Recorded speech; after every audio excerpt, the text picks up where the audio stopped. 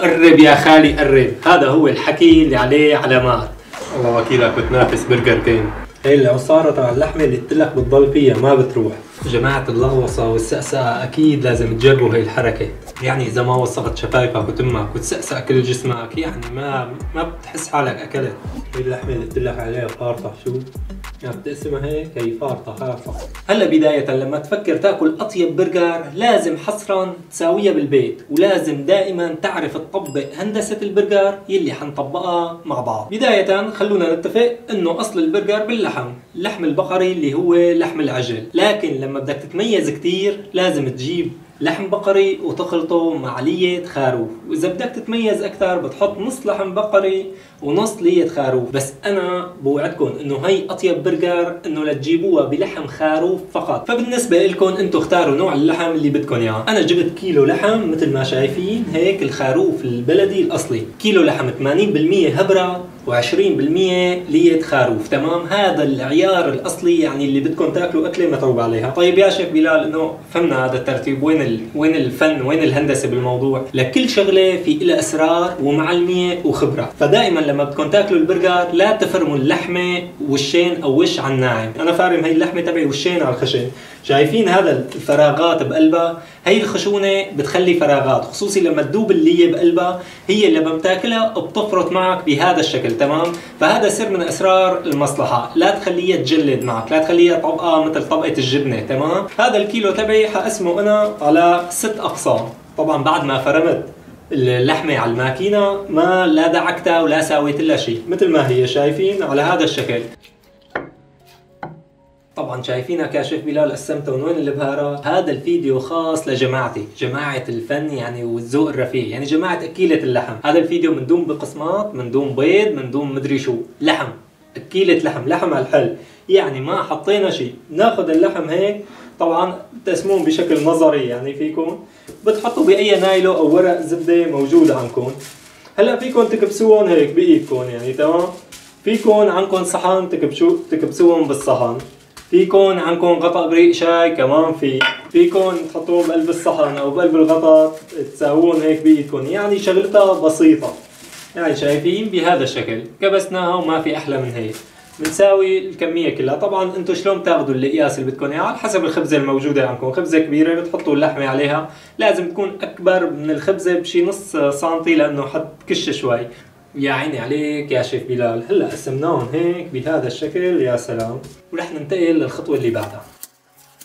لما بدك تطرز الفن على طريقة الشيف بلال أنا بنصحك دائما تقلي شرايح البصل بهذا الشكل هيك وشرايح البندورة.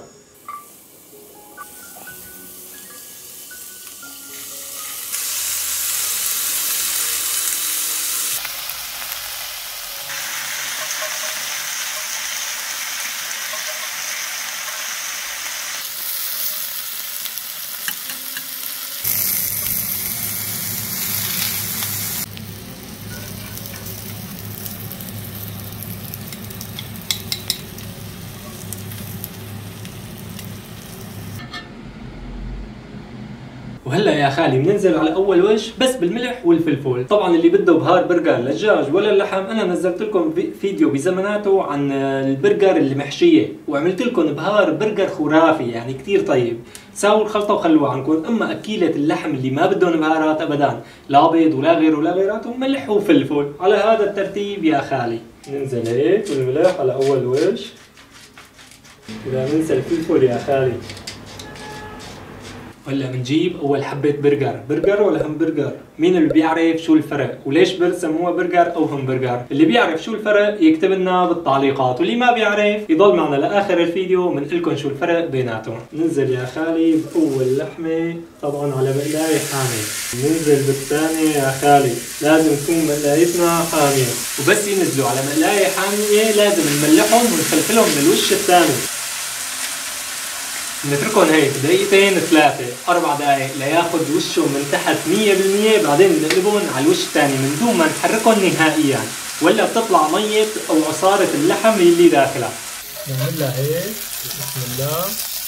وقليل يا ثاني هاي هي البرجر اللي مثل ما قلت لكم فيها فراغات ومفرفطة. بسم الله.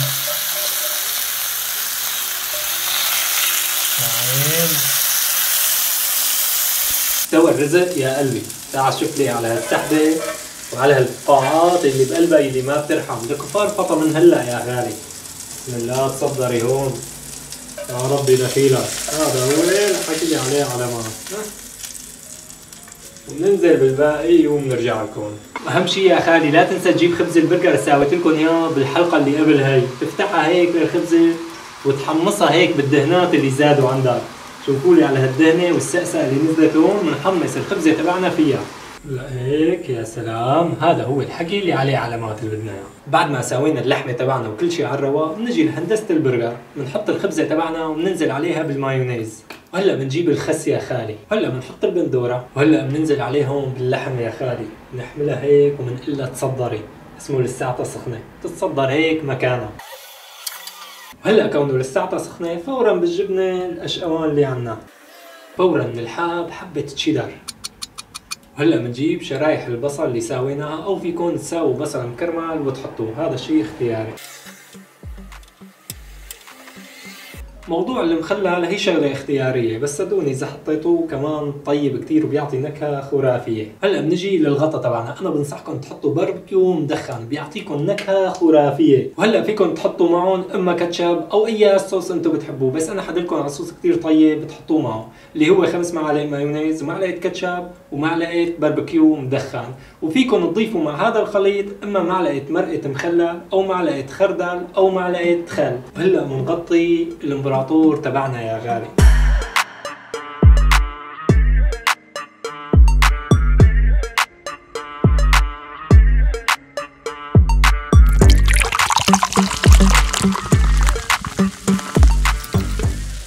وقرب يا خالي قرب. هذا هو الحكي اللي عليه علامات.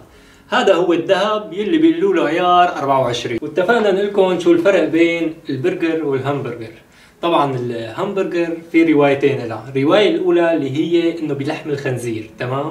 والرواية الثانية هي نسبة للمدينة بإيطاليا اللي اخترعوا هن الهمبرجر وهي اسمها همبورغ فسموها عليها. فأنتوا أنو رواية بتنصحونا نصدق؟ فهلأ خلونا ندوق يا خالي. بسم الله بننزلنا هيك هدول. زيحوا يا خالي لهون. بنقول له لهذا الصحن ارجع هيك انارين بتحطوا هذا الاختراع هون. وبتمسكوا هيك بسم الله. يا سلام. هي هي البرجر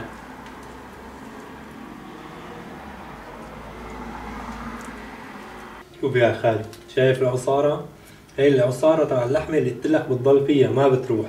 يعني لحمة طرية خير الله هي هي الأساسية.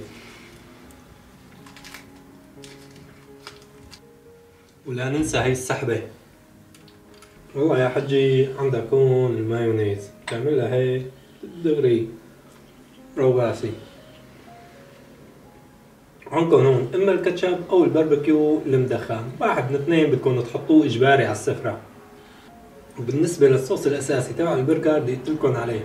مايونيز كاتشب باربيكيو ومعلقة خل أو خردل أو معلقة المخلل مرقة المخلل. جربوه على نصيحتي وكفالتي الخاصة.